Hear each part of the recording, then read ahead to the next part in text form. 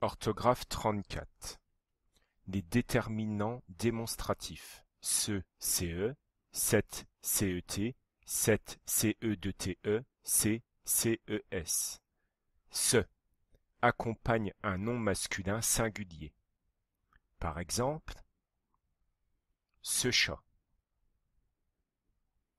Cette CET accompagne un nom masculin singulier commençant par une voyelle ou un H muet.